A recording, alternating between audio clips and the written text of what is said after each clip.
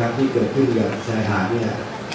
ไม่เหมาะกับชุมชนท่องเที่ยวระดับนานาชาติเลยนะครับยังเป็นระยะยาวและถาวรได้นะครับ ทั้งนี้ก็จะต้องมีก็ยากผมเองวันจัดวันที่เก้าก็จะต้องเข้าไปประชุมกับท่านเพราะว่าจะมีคณะหลายคณะที่รวมเป็นต่างทอนนะครับตั้งแต่คณะของท่านสสเรื่องเรื่องหน่วยงานที่เกี่ยวข้องทุกทุกๆท่านเลยนะครับ ทีนี้ผมก็เลยจะขออนุญาตเอ่ผู้เข้าร่วมประชุมด้วยนะครับตรงนี้นะครับขอเชิญผู้มีการสนรักษาความสงบเรียบร้อยและความมั่นคงนะครับขออนุญาต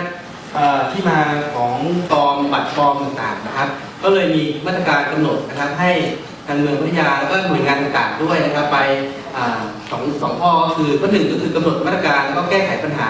ที่อาจจะเกิดขึ้นนะครับรวมถึง เพิ่มความเข้มในการกดขันดำเนินงานตามมาตรการที่ก็เป็นเรื่องของทีมฉุกเฉินมูลที่สว่างบริบูรณ์หรือว่าทางโรงพยาบาลจะต้องมีเครือข่ายที่จะรับอีกสมมติฐานหนึ่งนะครับ หรือกรณีเหตุไฟไหม้อาคารสูงนะครับ ก็อาจจะเป็นสมมติฐานหนึ่งที่สมมติว่าเกิดเหตุไฟที่จริงๆแล้วก็เคยเกิดขึ้นในพื้นที่เมืองพัทยาอยู่แล้วนะครับ ตรงนี้ก็จะเป็นสถานการณ์ที่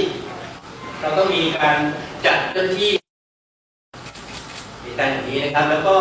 กรณีที่เกิดน้ำท่วมก็เช่นเดียวกันครับพัทยาเราก็เคยเกิดเหตุนะครับเพราะฉะนั้นเรื่องแผนในการที่จะจัดจราจรในเส้นทางกรณีที่เกิดเหตุน้ำท่วมต่างๆเหล่านี้เนี่ยนะครับก็ก็จะต้องมีการประสานบูรณาการนะครับ เพราะฉะนั้นก็จะเป็นอีกลักษณะหนึ่งที่ที่ต้องจัดเจ้าหน้าที่รวมทั้งอาจจะกรณีที่มีเรื่องของตึกถล่มนะครับ ซึ่งก็เคยเกิดเหตุที่จังหวัดนครราชสีมามาแล้วนะครับ ตรงนี้นะครับถ้าเกิดขึ้นจะต้องเข้าไปกู้ภัยอย่างไรนะครับโดยงานไหนสำนักงานช่างนะครับ ต้องใช้อุปกรณ์รถต่างรถขุดที่ต้องเข้าไปเยียวยารวมทั้งการอมอมยาท่องเที่ยวนะครับ หรือว่ากรณีที่อาจจะมีการทานอาหารลักษณะพวกทัวอีกต้องบูรณาการของจังหวัดชลบุรีนะครับซึ่งในครั้งนั้นเนี่ยได้มีการก็นานแล้วแล้วก็ไม่เป็นปัจจุบันนะครับ ตรงนี้เมืองพิทยาเองก็ได้นำแนวทางจากแบ่งมอบหน้าที่หรือว่าจริงๆก็เป็นหน้าที่ตามตามภารกิจของแต่ละหน่วยงานอยู่แล้วนะครับประเด็นแรกเป็นเรื่องของเรื่องศูนย์นะครับ ซึ่งซึ่งผมดูตามแผนแล้วเนี่ยก็มีมีความพร้อมมากอขอแชร์ความเข้าใจความ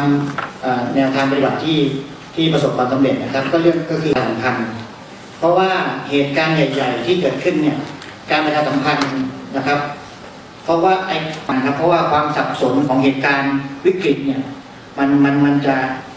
มันจะเกิดขึ้นขึ้นได้มากถ้าการสื่อสาร เป็นนโยบายของท่านผู้จัดการการท่องเที่ยวเนี่ยในโซนพื้นที่ของชายหาดเมืองพัทยาครับคือณปัจจุบันเนี่ยครับการจราจรนะครับกรณีที่มีเหตุต่างๆในการเข้าไปในการที่หน่วยงานต่างๆจะเข้าไปแก้ไขเหตุการณ์นะครับอีกเรื่องหนึ่งก็คงเป็นเรื่องของการดูแล ความปลอดภัยให้กับนักท่องเที่ยวนะครับโดยเฉพาะชายหาดพัทยาครับเราที่ท่านสารวัตรท่องเที่ยวนะครับ